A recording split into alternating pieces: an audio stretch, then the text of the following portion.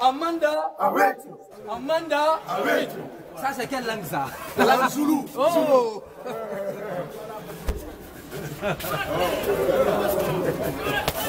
Salut. Le journaliste, ce que je peux dire sur la grève actuellement, depuis le lancement de la grève euh, le 3 octobre 2018 jusqu'à la date d'aujourd'hui, la grève est suivie sur toute l'étendue du territoire national. De Kassa jusqu'à Lyon. Toutes les écoles publiques, à ce moment-là, sont fermées. Aucune école publique ne fonctionne. C'est ça la réalité aujourd'hui. Il y a le site Africa Guinée qui relaie qu'il y a certains enseignants de Mamou qui ont recommencé les cours. Quelle est votre appréciation de cette information? Euh, cette information est fausse. Vous pouvez faire un déplacement. Allez à Mamou, vérifier dans tous les établissements publics à Mamou. Aucune école n'a repris. Tous les enseignants titulaires sont à la maison. Les contractuels qui y vont, eux aussi, même ont abandonné. C'est vérifiable sur le terrain. J'ai appelé le secrétaire général. C'est des fausses rumeurs qu'on fait circuler à travers les zones, à travers les réseaux sociaux. J'ai appelé le, secrétaire général du bureau préfectoral, Slek de Mamou, qui a confirmé avoir tenu une assemblée générale avant-hier, au cours de laquelle il a encore euh, galvanisé la position de tous les anciens.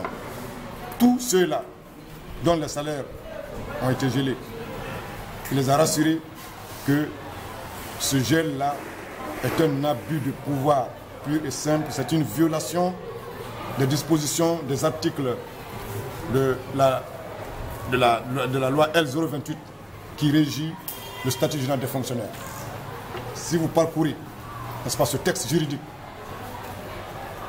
jamais vous ne retrouverez un, un, article qui, qui, dit, qui indique le gel de salaire en cas de grève. Plutôt, dans son article 11 et 15, il est bien écrit que la grève est garantie.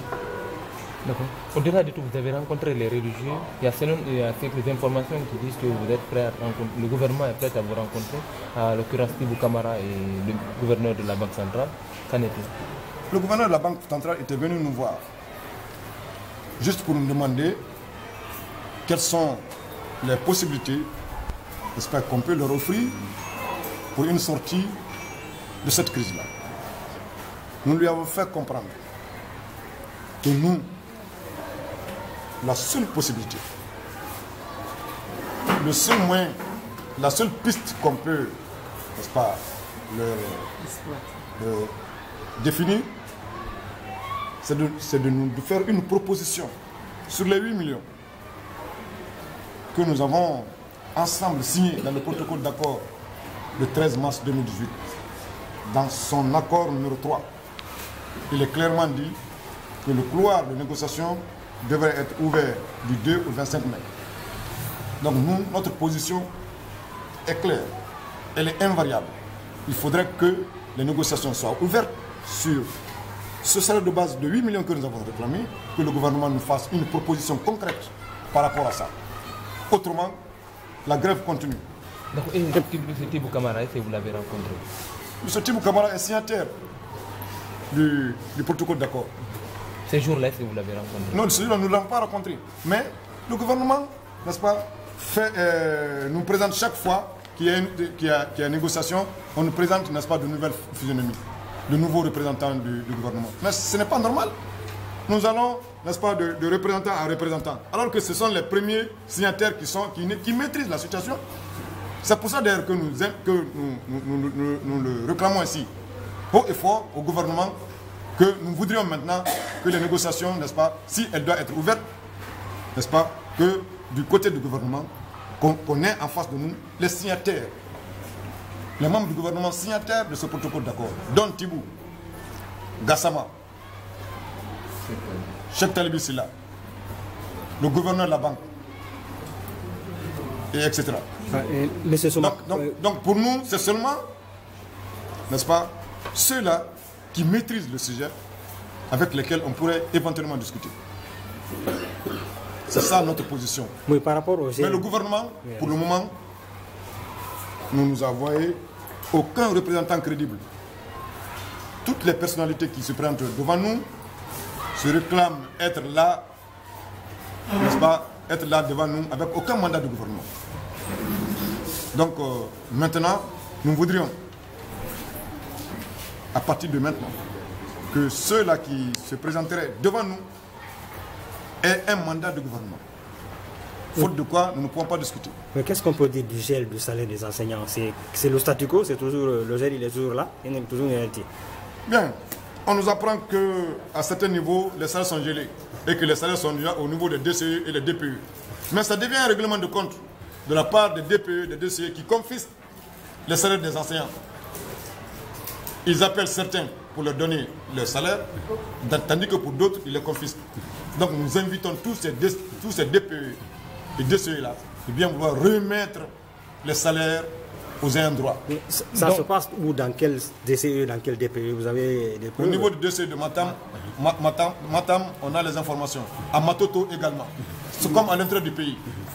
Dans beaucoup de préfectures, les DPE n'est-ce pas, procèdent euh, à une discrimination. Ils appellent certains pour leur remettre les, salaires, tandis que d'autres, ils les, confisquent. Donc cela veut dire que les salaires ne sont pas gelés, si je comprends bien. Bon, euh, les salaires sont gelés, bien sûr. Ça sont gelés, mais pour certains. C'est le billetage, ça Ou c'est non, non, non, pour certains.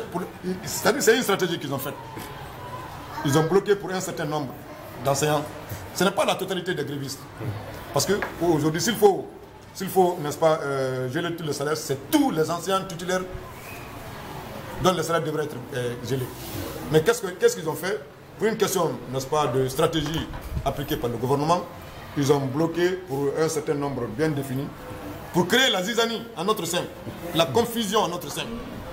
Tout cela pour amener, n'est-ce pas, euh, le gouvernement à déstabiliser notre, notre, notre mouvement. Mais cela n'a fait que galvaniser les anciens.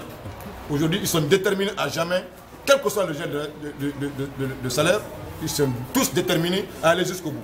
Et nous irons jusqu'au bout tant que les 8 millions-là, tant qu'une proposition concrète n'est pas faite sur les 8 millions-là, nous continuons à rester à la maison. D'accord, vous venez de rejoindre aussi l'USTG alors que Lumia Bassouma est accusé de malversation. Et quelle est votre réaction par rapport à cela? Le groupe et les autres groupes, groupes les Bien sûr que nous venons de rejoindre l'USTG. Nous sommes membres fondateurs de l'USTG. Le SLEG et la FISABAC qui ont créé l'USTG. C'est le SLEG et la FISABAC qui sont désaffiliés de l'USTG. Et après, n'est-ce pas, les, contacts des autorités du bureau exécutif national de l'USTG par rapport à notre réaffiliation. Après avoir reçu à plusieurs reprises des délégations en provenance de l'USTG, nous prions, nous demandons de revenir dans la maison, la maison commune. Nous avons accepté. La FESABAG, la FESATEL et le SLEG, nous avons, nous avons accepté d'y retourner.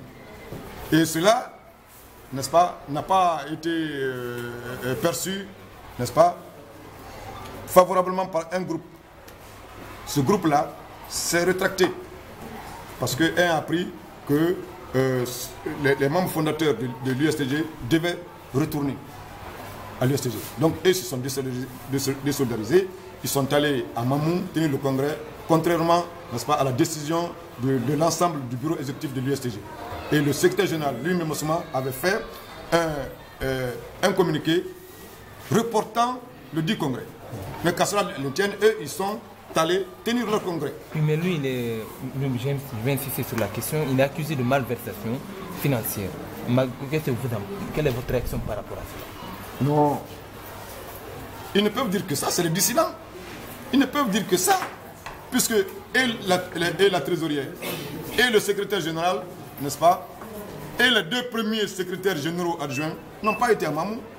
C'est une partie du bureau exécutif qui a été à Mamou. La majorité est restée à Conakry. Donc il ne peut pas, pas l'accuser de, malversation. Parce que les comptes sont là. Qui sont, les comptes existent. dans les banques où nous avons domicilié le compte de l'USTG. Des images. Moi, c'est l'interview là qui m'intéresse. Merci, chers camarades. Merci au Bureau national du syndicat libre des anciens chercheurs de Guinée.